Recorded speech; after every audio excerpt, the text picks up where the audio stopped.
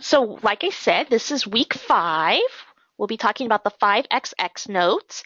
Um, I do see where I already have a question. Um, before I answer it, were there any questions about um, this last homework assignment?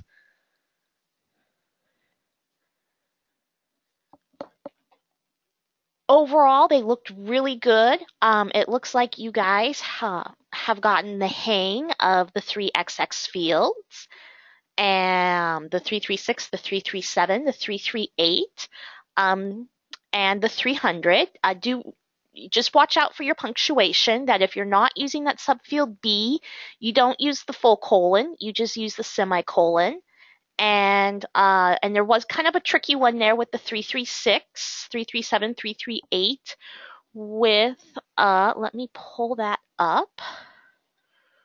With loyalty and death um, there that one was kind of tricky because it's an audio book, and so some people um, weren't really sure what to do for the um, I think it's the three three six there, um, and so the, the the most correct answer is um is sorry let me pull that up um the answers.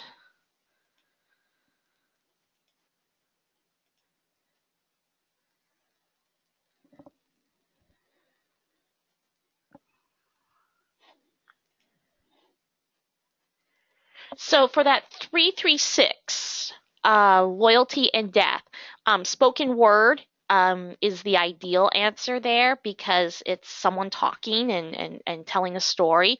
But um, Unspecified or other can also work if you're not really sure what to put in there. Oh, no sound. Um,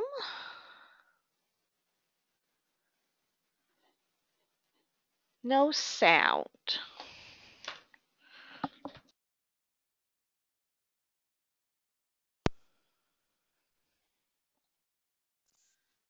Okay, can you hear me now?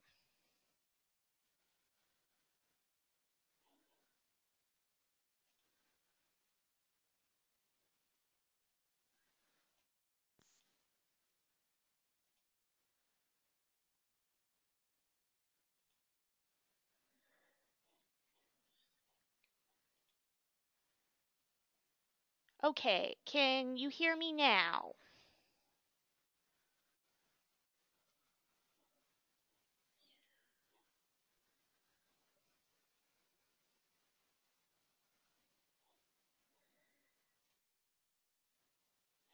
Hello?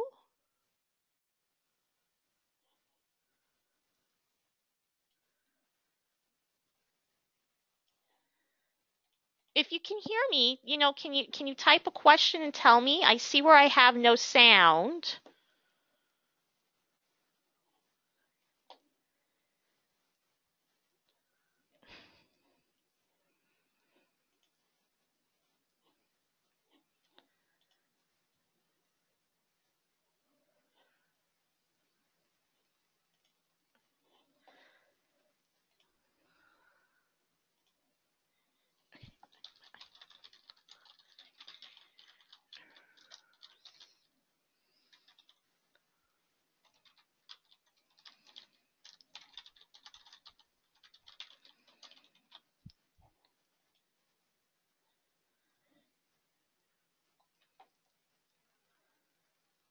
Okay.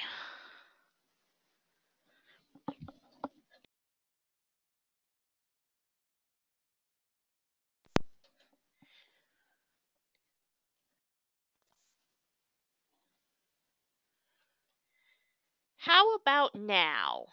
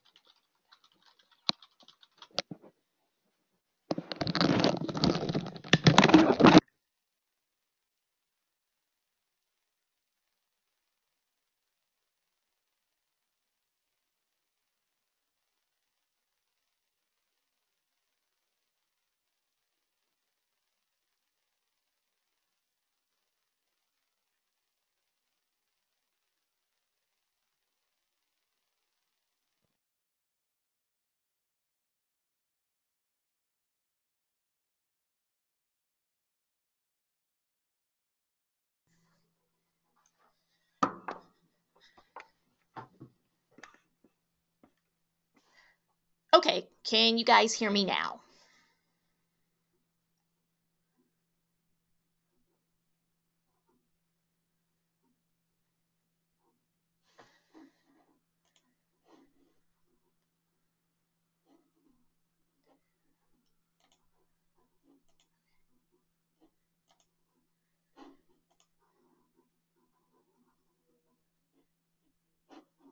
Okay, I've plugged in a new mic. Can you guys hear me now?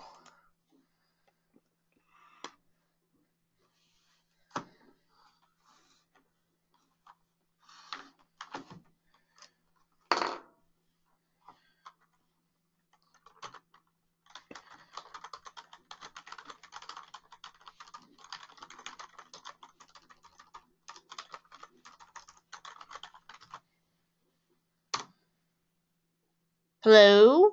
Testing.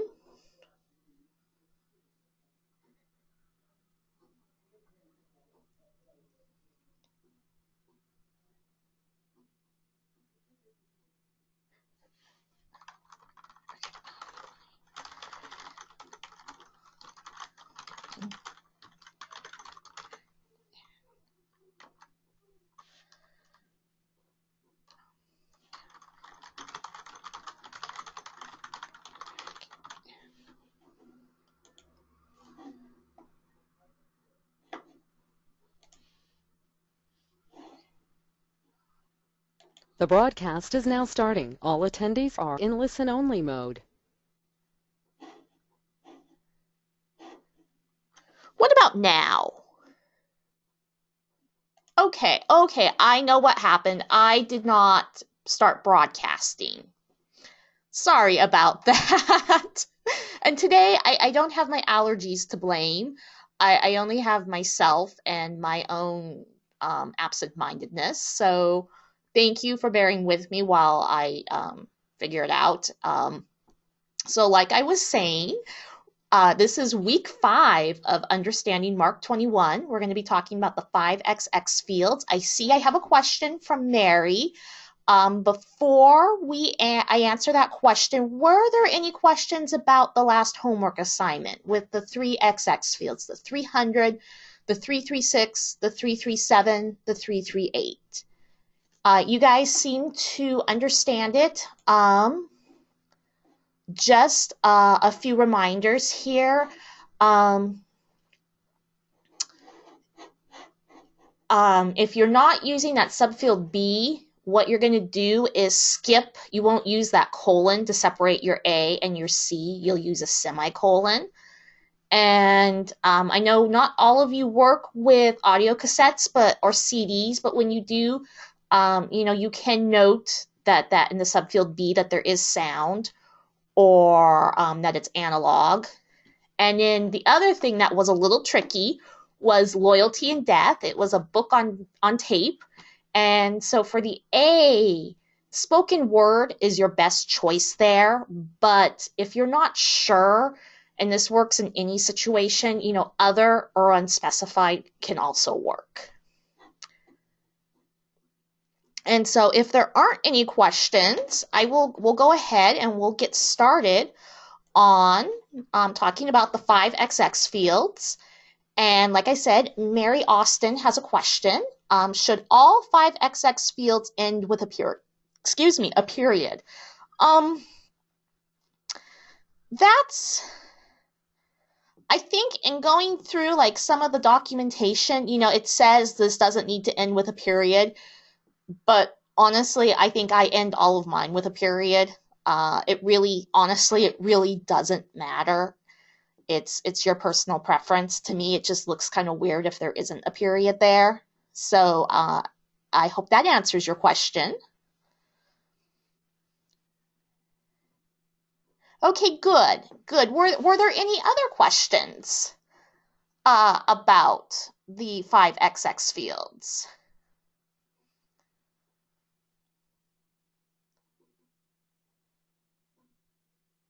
Or any questions about the reading?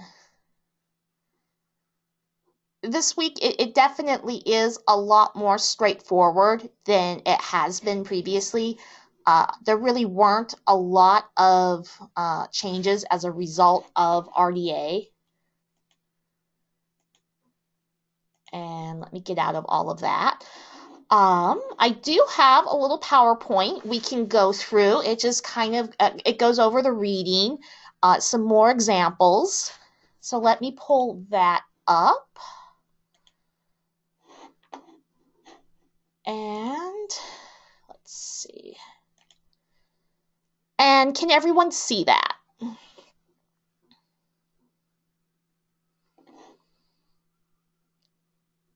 Okay, good, good. So the um the 5xx fields are kind of a lot of these fields they're just kind of helpful fields. They're informational fields. They're not necessarily optional.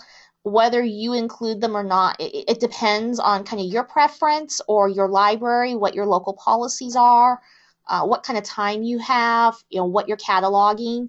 Um, do any of you use the 5xx fields in your records? Okay, good, good, good. Any in particular that you use, or you just go with the basics? The 500, the 505, the 520. I, I like them because I think they bring um, a lot of extra information for patrons that they they may or may not realize they need. The 520, yep, that's a good one to use, that summary. So let's go ahead and get started here, which we're going to start with the 520, the field summary, that, that summary. And, um, you know, it's one I like to include. I think it can be really helpful. It's one that can be a lot of work. And so what I usually try to do is go, uh, if there's a publisher website, I might try and go and find something from the publisher.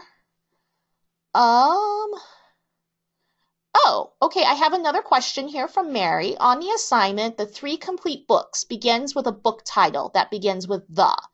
Is it a problem to start the 505 field with the, since its title search would not use the? I've actually never thought about that before. you know, I don't I don't think it matters because the 505 it's more of a keyword search and it, it shouldn't I don't think it should be a problem. Let's see here. Let's um oops, that's not what I wanted. Okay, go back.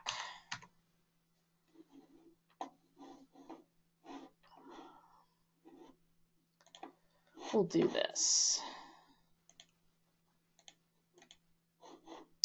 We'll go, I'm going to the OCLC. Make sure you guys can see that. To the OCLC bibliographic formats and standards page, and we'll pull up the 505 formatted contents. And I think in looking through here,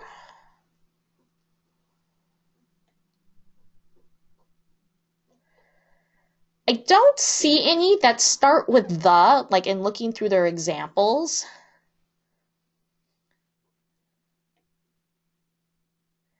And so if you if you are concerned that it may not pop up in a search, you could always take the off. Like I said, I've I've never really thought about it because I think that is more of a keyword search.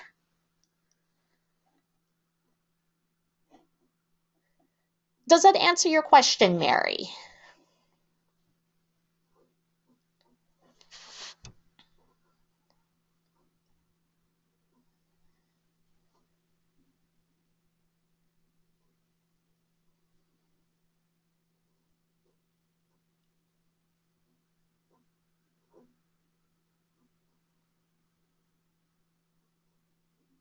And I'm not seeing a response. I don't know if she's typing. If a patron knew that title, a title search would not bring it up. That's why I asked. Okay, um, if another option in that case is you could always do if you have a lot of different titles in a book. Um, there's different ways to add those in. You can always do it like as a 246, or um, and that that might be the simplest way. Or um, you can go into the 700s and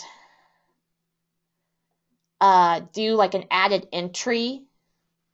Let's see here. I don't do a lot of these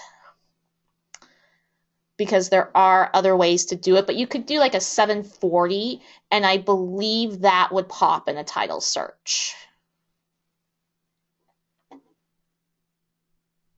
Sometimes it takes uh, a trial and error, um, you know, to figure out exactly what's going to pop in a search and what you know between what you what you pop what pops up in a search and what you put into a MARC catalog, a MARC record.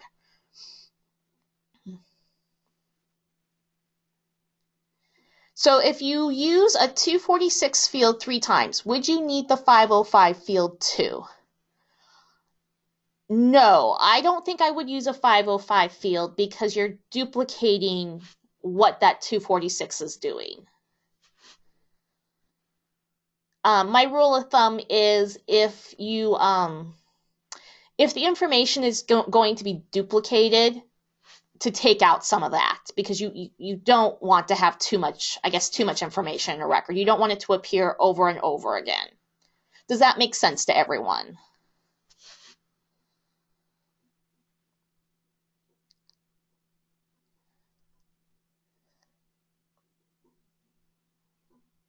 Okay, it makes sense to one person. That's good.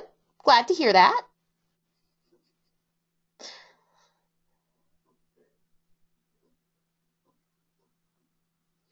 And it looks like it's it's making sense to a couple of others as well. So are there any more questions? And you guys know it's always okay to pop in with questions whenever. So let me go back to my PowerPoint here. Make sure everyone can see that. Okay, let's do Okay. So we were talking about the 520, that, that summary, and uh, different things you can do with it. You do have different indicators you can do. And we have another question. If a summary comes from the CIP info, is there any need to note that for the 520 field? You know, it really depends um, on your personal preference. If it's coming from like the back of a book and it's the same, or if um, it's coming from the publisher's website, you could always just go ahead and say from the publisher's website, um, or you could just leave it as is.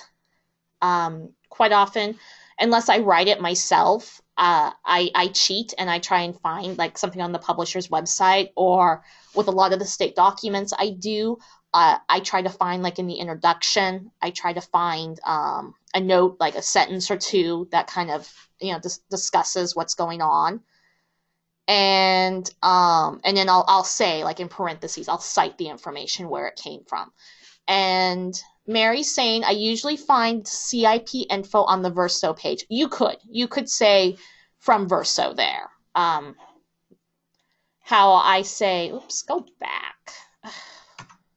Okay, clearly I am not very good with technology, so I apologize for that.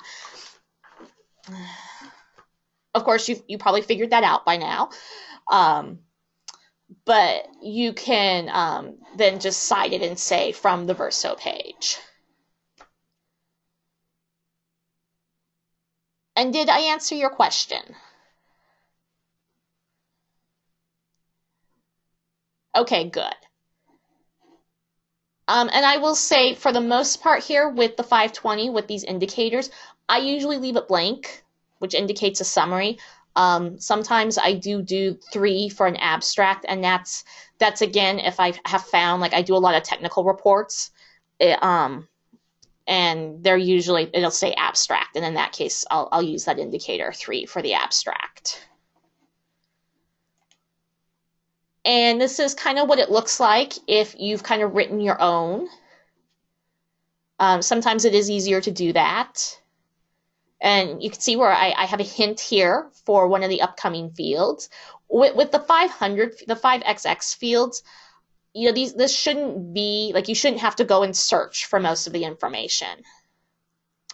Good, Lori, I'm glad to see that you're there. You, you missed out on the drama of my not being able to get my microphone to work because I hadn't actually started the presentation. But that's neither here nor there. Uh, anyway, like I was saying with the 5XX, you know, for the most part, this is all information you should be able to find on the item itself. And so here, like it says, winner of three Academy Awards. You know, if you feel like it, you can go ahead and put that in your 586 field, but we'll talk about that later. And so we're just going through the 520 and that you know it can be a really easy way to to add some information to a record it helps your patrons i think um, you know if there's a title of a movie uh, that's you're, you're seeing the same what i'm trying to say is if they've done a search for something and they've come up with several that are the same it helps them differentiate between you know what they really want and what they're finding. So let's go on. And we are at the 505 and which again is is your contents. And Mary was asking about this a little while ago. And um here in this case I probably would not do with the CD here. I probably would not do an individual um 246 uh, for each one of these songs um you know, this is a case where, you know, depending on your ILS, it may pull up um, if they do a keyword search or a title search. Uh, well, probably wouldn't pull up for a title search.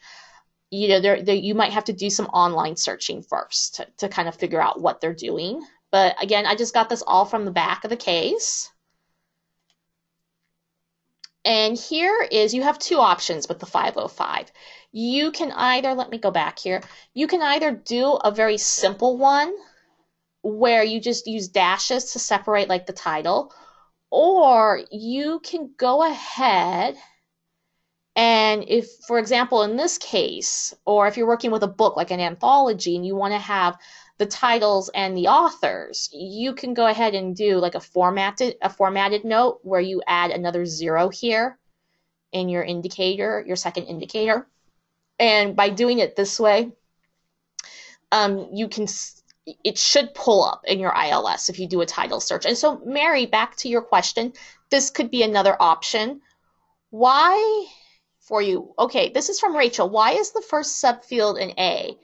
You know, that's a really interesting question. And and um, I think it's kind of just for the most part standard that it's a subfield A, not always. But let's we can go and check that and see what um, because that might be a typo on my part. Let me, we'll just end the show for now and get out. And let's pull that up. That's a really good question, actually, because I kind of wondered as I was making this slide and obviously never went back and checked. And so in this example here, where they call it an enhanced or a formatted, um, you can see where, let me, you can see where actually they do have a subfield T there. So I, I did make a typo there, so I will have to go fix that. I will post um, the slides after we're done. So good catch, Rachel. You're right, that should be a subfield T and not a subfield A.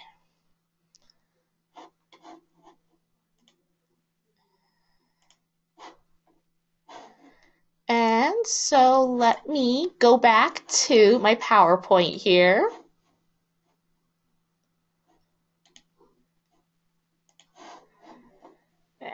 And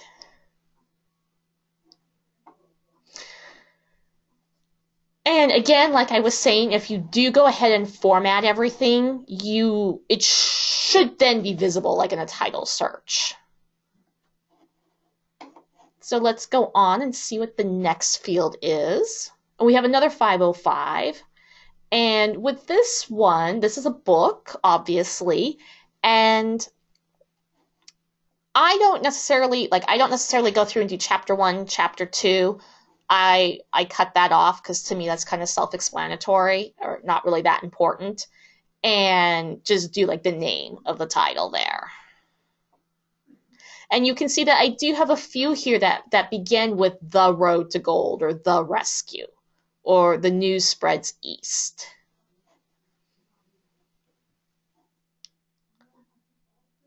And let's see. Oh, this brings us to the 500 and 504 notes, and which are the general and bibliographic, bibliography and index notes. Um, the 500 is your general. And Mary's saying, yes, both both are just chapter titles for your your your book, correct. And like I said, if you really wanted to, you could do a 246 or you could go ahead and do um, you could do a formatted note. And let's see if we can find an example in let's see.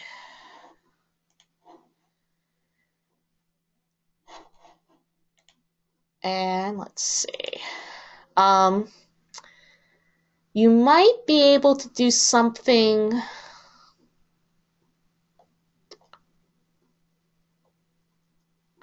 like this here.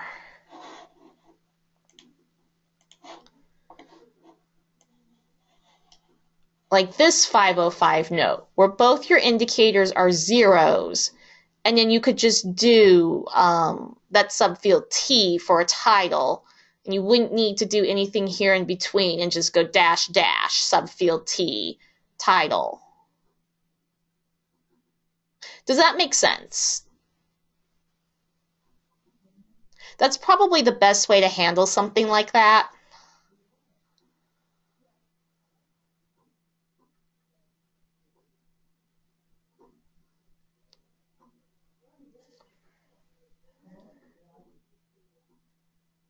Still don't know about the the at the title beginning. You know, I I don't know about that either, Mary. I really don't. Um that may be one of those things where you kind of have to just through trial and error uh, you know work on your record and then go look at it in the uh, on the front end.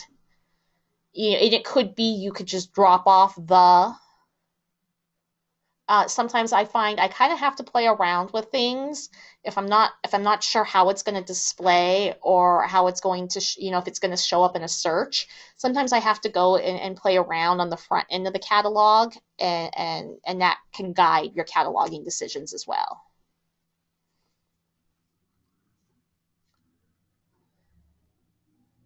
Oh, good. I'm glad to hear that other people do that. Okay.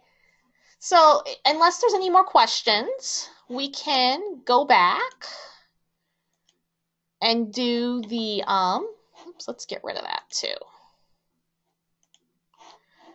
Go back to the 500 and the, where are we here? And the 504. And I really like the 500. It's kind of a catch-all for everything. Um, you you might remember from week two, I think, where we talked about the 245, how if your title comes from something other than the title page, you know, it's good to note where that came from. And you can also note, um, for example, um, on this uh, this document here, on the front, it says April 2009 and I went ahead and noted that on my 500 in quotes. And that kind of, you know, it doesn't explicitly state that it's a publication date. Um, for that 2009, we're kind of assuming it is, it probably is. And having that 500 there kind of tells us exactly what's going on, that where we got the source of that 2009 date.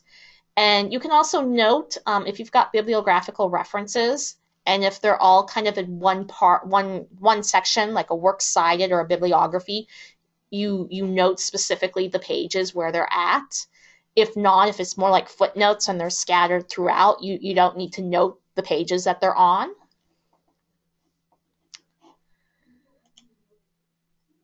And then this brings us to the 546, and um, which tells us, you know, what kind of language is is um, if it's got multiple languages, if it's in Spanish or English in this example, or here with Downton Abbey, you know, does it have subtitles? And again, this is information that's just going to come from the resource itself. Usually, like in the case of a, C- a DVD, it's going to come from the back. Um, with a book, it, you would obviously know as you're going through the book. And you can also note if something is closed captioned. Uh, note that here too.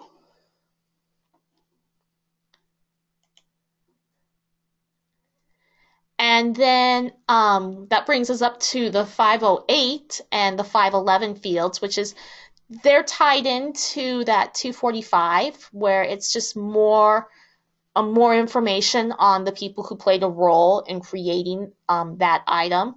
Um, with the 508, you're going to use that mainly like with DVDs, with movies. And and how detailed, how much detail you want, how many people you want to list here, that really depends on you, your workflow, your library. Um, you know, you can like I usually try to note the director and if there's writers.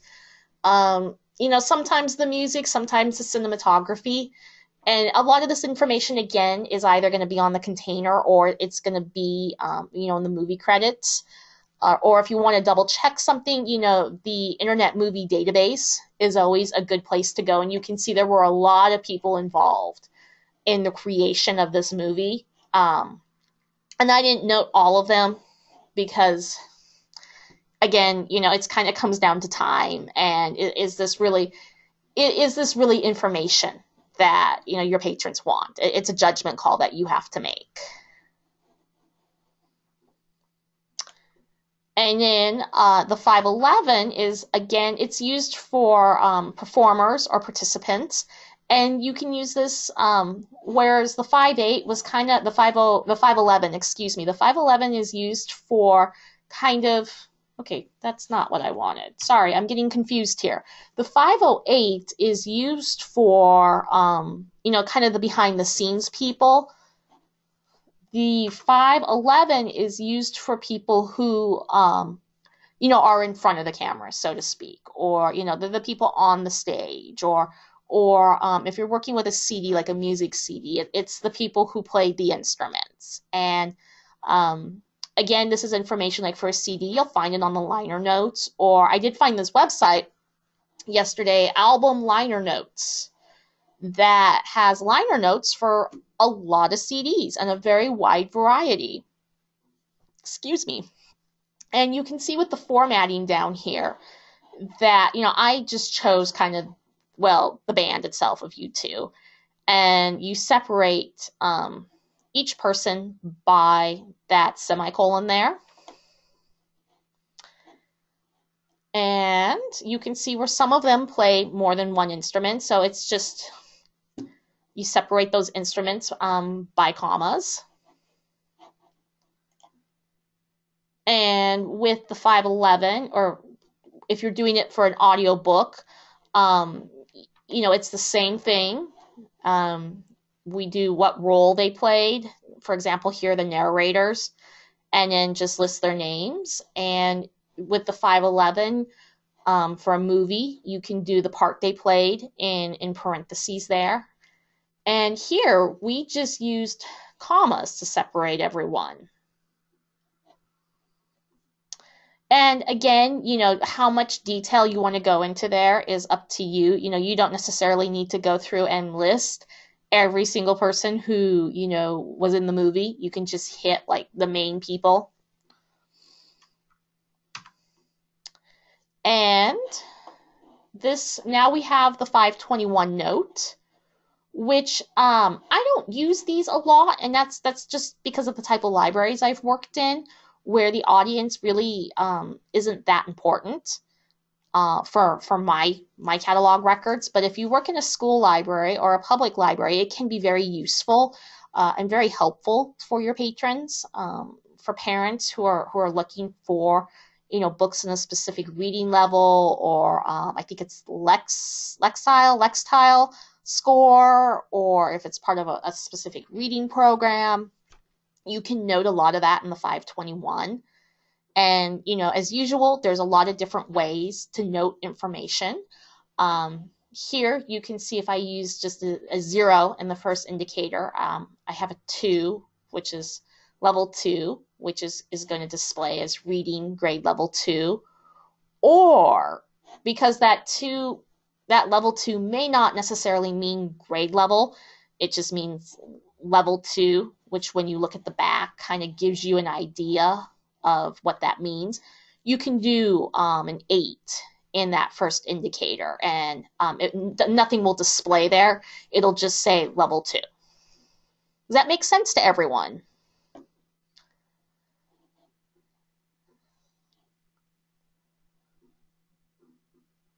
Okay, good, good. And it looks like, oh, okay, no. And Catherine, what exactly Oh, you're wondering about that eight. Okay. So let me go into, um, oh, let's go back here. Let's go here to, we're back at the OCLC website. And like I've, I've said on numerous occasions, okay, what do you mean by it not displaying? Okay. So in that audience note, you have a lot of choices here when it comes to your indicators. And some of these indicators, if you put in a zero, uh, for example, it tells the computer to display reading grade level before whatever, whatever information you have in the field itself. And so depending on what you want to display there, um, that means you don't have to type in reading grade level. That that will automatically display for you. And if you're not really sure what or if anything should, you can do in this case an eight and no display. It not the computer won't display anything other than what you just have in the field itself. Does that make sense?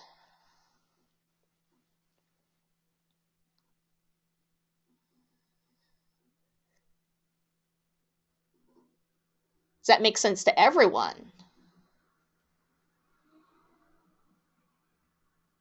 Yeah, yeah, rather than putting it into a 500. And you can always put that, you can always put a lot of this information into a 500 note.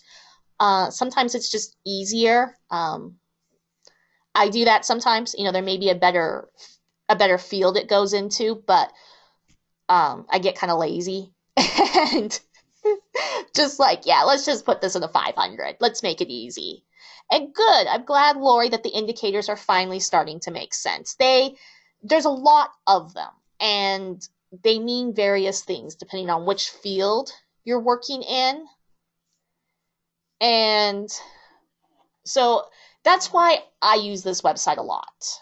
This OCLC with the um, the indicators and your fields and how things should be formatted is because each one, if you've used it, you notice each one starts at the top by telling you what the indicators are. And then if you go down through, you know, it explains them in detail.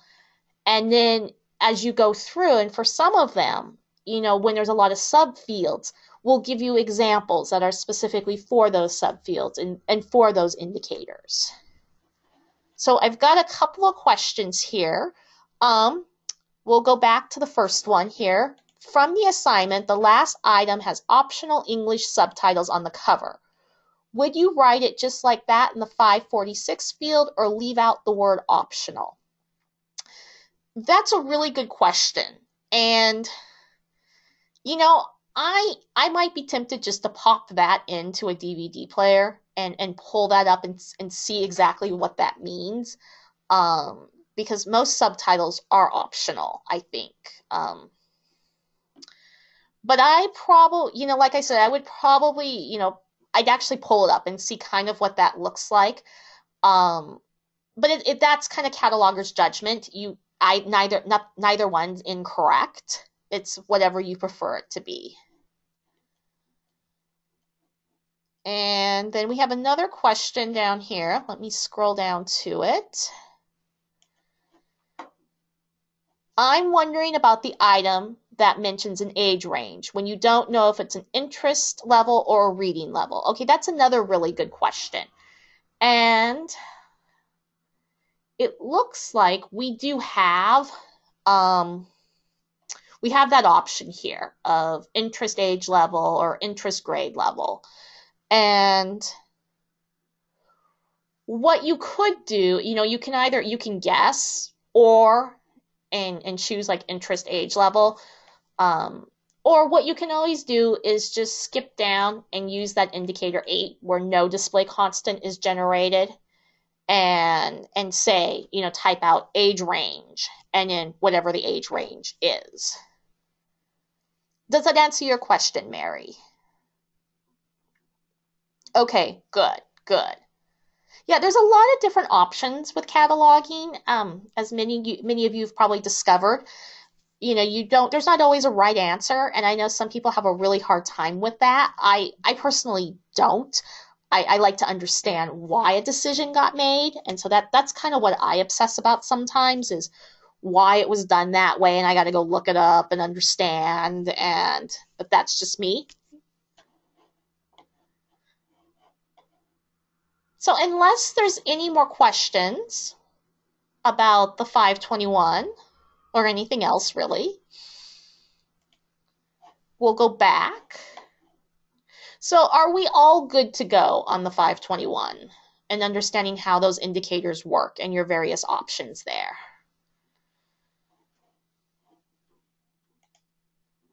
Okay, good, good. let's go on. And you can also use the 521. uh, yeah, okay, Lori, for right now, you're good to go. That's yeah, sometimes it feels that way when you're learning something where you understand it in the moment and then it's like in high school and in algebra or pre-calculus. Um, you know, I'd understand it in class. I'd go home and try to do my homework, and it was like, what, what the heck? This, this doesn't make any sense to me. And, and yeah. Anyway, um, you can also do like movie ratings here.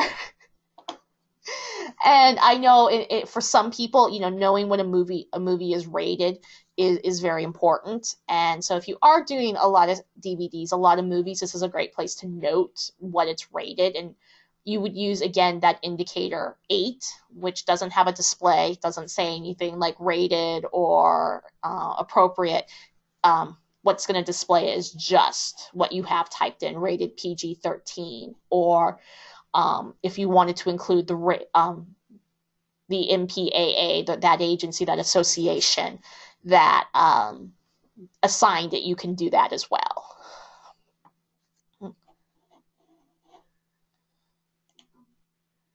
And then um, we have the 526 field where if it's, um, they call it the study program information note. It's kind of like things like I was saying earlier, if it's a part of like a reading program or the Lextile, I think it's Lextile, um, those kinds of things, you can note that here in the 526. And again, it's it that should be something that's noted on the record uh, or noted on the item itself. Not always, and depending on how you get your records, if you get them from a vendor, that may be something that comes in already. Um, did you notice the third indicator on your last slide? Let me go back. Oh! Thank, thank you, Mary. You guys have really sharp eyes. I clearly don't. I don't. Clearly, I don't proof these before I post them. Um, I will. I will go ahead and make that change before I post them. no, no, there. The 521 doesn't have three indicators. I just um, got a little carried away in making my spaces there. So thank you, Mary.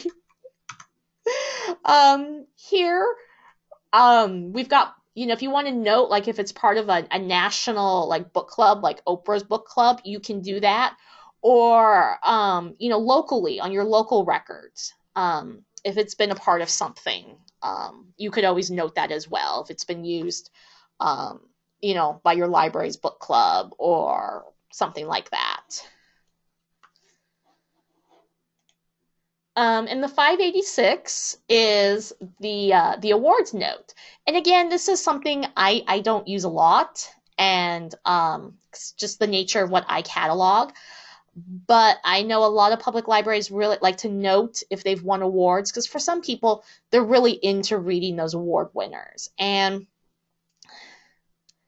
um, what you can do, you know, if something's won like the Golden Sower, this is a great time to note, you know, hey, it won the Golden Sower and what year and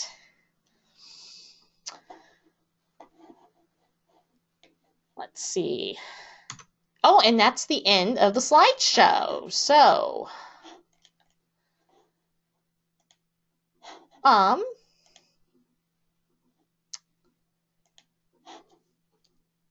are there any questions right now before I move on to talking about the upcoming assignment?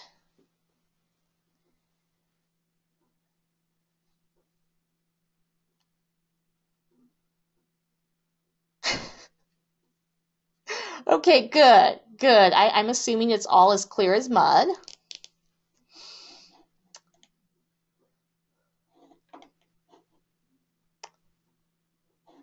So the assignment for this week, and it's it's very similar to what you know we've been doing, where we have the slides and and in the questions, you know what what you need to do here. And for this week, it's just, um, you know, going through and creating different kinds of the 5XX notes for some of the items, um, doing a contents or a summary, um, create the proper 5XX field regarding statement of responsibility for loyalty and death. And that just has to do, since that is a book on tape, that has to do with like um, if there was a narrator or, you know, anyone who might have been involved in the production of that book. Um, it asks us to do an audience note for Diary of a Worm and a language note for Diary of a Worm. Diary of a Worm is, is getting a lot of work this week. So Are there any other questions? Like I said at the beginning, this is, you know, the 500 notes, the 5XX, they're pretty straightforward. And, you know, the indicators get a little confusing and the subfields, depending on how complicated you want to be, but you can keep it very simple.